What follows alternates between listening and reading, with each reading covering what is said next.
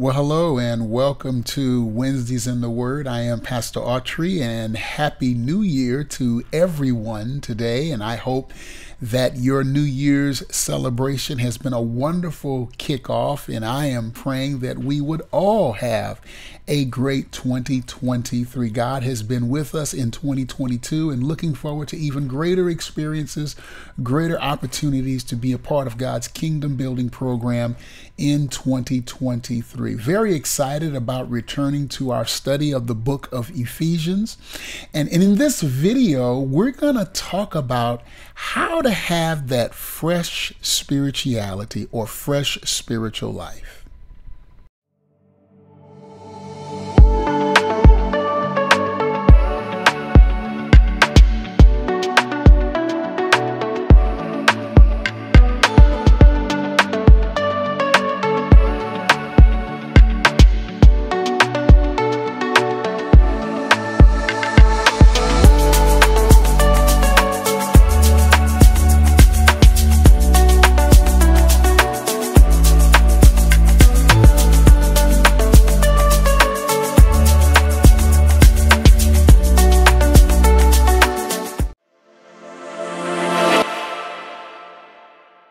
Well, thank you for joining us again. And I'm really, really excited about this portion of scripture that we're going to be studying.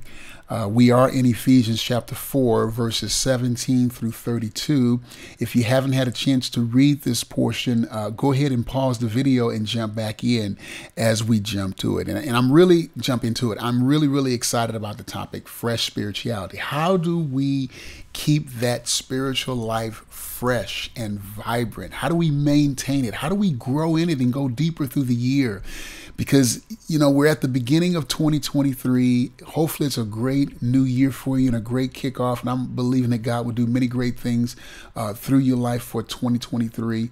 Uh, but the truth is, we start out with a bang in January, don't we? I know some of you, even watching now, you probably don't even like to do New Year's resolutions because usually by the third week, you've forgotten what the resolution was, right? If you're like me, okay? So we start out with a bang. We say, we make up our minds, you know what? I'm going to have a better prayer life. I'm going to get into the word. You know what? I'm going to get into the things of God. I'm going to be more active in terms of ministry. I want to make a difference in the lives of individuals. I'm going to live this Christian faith with vitality and power. But then something happens around end of February or March, right? We kind of lose energy. We lose that spiritual freshness. We lose that vitality. Somehow we're on a spiritual or religious treadmill and we don't have the energy we once had before. What happened? We start out with a bang and then we start to fizzle. And I believe in this portion of scripture, Ephesians chapter 4, verses 17 through 26, Paul gives us the one principle that I think can help us maintain or even grow with a fresh spirituality. But before we do that, let me just give you a really quick recap of what Paul's trying to do. Again, the book of Ephesians can be divided into two segments. Chapters 1, 2, and 3, that's the calling. Chapters 4, 5, and 6, that is the conduct. Put another way, chapters 1, 2, 3, that's the work of God. Chapters 4, 5, and 6, that is the walk we have with God. And you see the word walk show up a number of places in chapters 4 through 6. In verse 1 of chapter 4, walk worthy of the calling. Chapter 4, verse 17, walk no longer like the Gentiles in the scripture, the portion of scriptures that we're studying right now. Chapter 5, verse 2, walk in love. Chapter 5, verse 8, walk as children of light. Chapter 5, verse 15, be careful how you walk. And so there's this idea God's done the work Let's walk with him.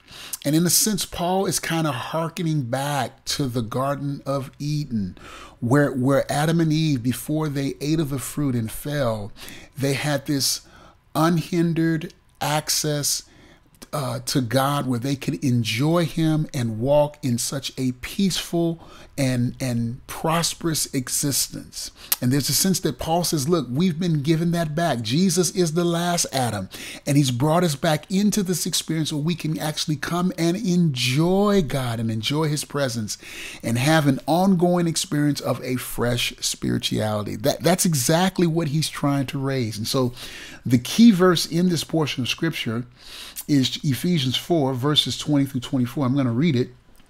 He says in verse 20, but you did not learn Christ in this way. And hereby learn, he means this is not some philosophy. You, you, didn't learn a new branch of philosophy. This is not academic. The Christian faith is not about having the right answers. And boy, don't we need to get away from that? I think that's the first step into legalism. When we make Christianity an academic exercise, we begin to develop our own spiritual Ten Commandments that fit us. And we wonder why we lose that freshness. And Paul says, No, you didn't learn Christ that way. No, no, that's not what you learned. Look what he says. He says, if indeed you have heard him and have been taught in him. Notice what he says heard him, not heard of him, heard him, heard him directly. The Christian faith is a relationship. We walk with him. And so, in a word, here it is it's that engagement. The engagement produces renewal. The engagement with Christ produces renewal. I'm going to say it again engagement produces renewal. And so that's the idea. When we engage Him, heard Him, and have been taught in Him, just as truth as in Jesus, that in reference to your former manner of life, you lay aside the old self, which is being corrupted in accordance with the lust of deceits, and that you be renewed. There it is, renewed in the spirit of your mind. When we engage Him, we are renewed. That's the idea. And we're going to see this word again in other places in Scripture very quickly. And put on the new self which is in the likeness of God, has been created in righteousness and holiness of the truth. And so here the key phrase engagement for renewal, engagement for renewal. As we engage Him, heard Him, as we relate with Him, we have Him by means of the Holy Spirit that's where the renewal begins. And this idea of renewal is not something uh, new. It's not something that um, that is is brand new here. Paul mentions it in Romans 12 verse 2. If you remember, do not be conformed to this world, but be ye transformed what? By the renewing of your mind. But in Ephesians 4, he gives detail as to what it means to renew the mind. We also see it again in Colossians, Colossians 3, verses 8 through 11, where he says, Do not lie to one another, since you have, here it is, laid aside the old self with its evil practices and put on a new self, here it is, who is being renewed into to a true knowledge according to the image of the one who created him. And so there's that renewal. As we engage him, we're renewed.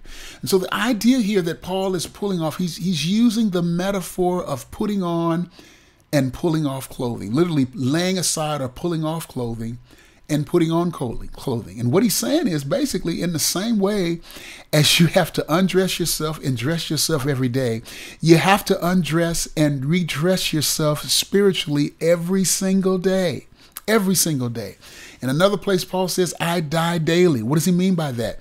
Every day I got to undress and redress. Every day I got to pull off something I got to pull on something. Just as I pull off my clothes from the previous day, I got to put on some new clothes. That is the key to the spiritual life. How are we renewed? We got to take something off and we got to put something new on. That's the idea. I got to lay aside something. I got to put something up, put uh, pick up something. That's the idea in Colossians 3. That's the idea in Romans 12. And that's the idea here in Ephesians 4. I got to lay aside something, then I got to pick up something. Uh, this idea is also illustrated even in the, uh, the, the, uh, the ordinance of baptism. Usually we think of baptism on the front end, and surely that's where it belongs that those who trust Christ are baptized into the body of Christ. That's exactly what happens. Christ redeems us when we trust Him by faith, and then He takes us and baptizes us and makes us members of the body, the universal body of Christ, 1 Corinthians 12 and 13. But, but baptism doesn't start there, not to be resaved all over again, but to be washed, to be cleansed. And so we're we're we're cleansed every single day. We have to wash just as we have to wash physically every single day. And you should do that every single day, amen. Just as you should brush your teeth every single day. Spiritually, we have to wash every day and and and be renewed. So it's something that happens every single day. There's a discipline to it. Engagement for renewal. I got to pull off something and put something on. That's the idea. And that's how we remain, that's how we keep that fresh spiritual life. And so, just a couple of things very quickly. If you read through the rest of the scripture from verses 25 through 32, Paul suggests that we ought to take off and put on some things. He says, take off lying, put on truth. And, and you and you have these dichotomies all throughout the the practices. Take off the anger, and he says, let don't let the sun go down on your anger. But then put what he means by that, put on calm put on calm. And so here, here's the idea. He'll say, take off stealing, then put on sharing. You know, don't steal anymore. But look, if you work, share it with somebody. So here's the idea. Usually Christians try to work on stopping a habit. I'm going to stop lying. I'm going to stop doing this. I'm going to stop this destructive habit. Paul said, no. Yeah, stop the stop what you're trying to do, but at the same time, you've got to start something new pull off what you shouldn't be doing, but you got to put on something in in in exchange or in as a replacement for what you're doing. And so, if I do struggle with falsehood, if I struggle with gossiping, I probably should put on encouragement. I probably should put on positive words. I got to be intentional with it. If that's my struggle, if I struggle with anger, then I got to put on some kind of mechanism that helps me calm down in that moment. No, I got to be peaceful. Maybe it's simply saying, look, give yourself a moment so that you can respond to the issue in a more civil manner. Many times we take uh, uh, working on our anger to mean that we keep our opinions to ourselves. No, express your opinion Take the emotion out of it. Take the anger out of it. I think that's what Paul is getting at.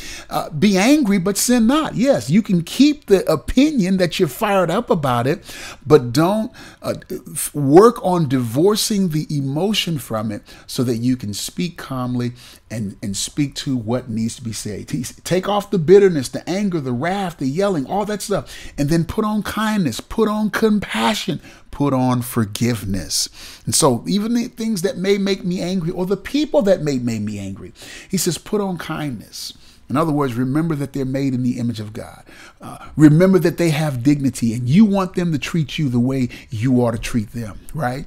And so that's the idea of kindness. Put on compassion, meaning that maybe there's something behind it that we don't understand that's driving the behavior. And that's what compassion is. God gives us compassion and does not give us what we deserve, but He gives us mercy or compassion, what we don't deserve, because He understands that sometimes the things we do is being driven by something that is behind the behavior, some brokenness, some issue, some challenge, maybe even some sin that has us in bondage, and God gives us compassion or forgiveness. Sometimes simply saying, I messed up, I'm sorry, or please forgive me, that can diffuse the situation and actually invite the Spirit of God to revolutionize the relationship or the issue. And so, those are just a few thoughts about fresh spirituality. Usually, what I say in this kind of situation, if you find yourself uh, struggling, you find yourself, you know what, I, I don't have the vitality, it probably means it's time to take up something new. Take off something old, put on something new. So maybe the way you're praying or what you're praying about is gotten old. It's time to take up a new way of praying or a new approach to praying or new things to pray about. Or maybe do some research personally on prayer, developing a theology of prayer, maybe following the lifestyle of Jesus and looking at his prayer life and begin to pray back his prayers or pray or just start with the Lord's Prayer, etc. And that becomes the pattern for what you pray about. Or maybe you start praying back the Psalms. Take off the old, put on something new say, well, you know, I can't get into the word. One of the things that I'm doing this year, listen, I've read through the word numerous times. For the first time in my life, I'm 61 years old. I'm actually going to listen to the word from Genesis to Revelation. And I'm just completely excited about it, blown away at the new way and the new experiences I'm already having by listening to the word. Uh, if you have the church app, you can you can access um, the audio version through the Journey 365 biblical story. If you don't have the church app, simply text um, CC Richardson app to 77977 and simply follow the prompts. And then if you go, I think it's into events. I'm pretty sure that's the correct one.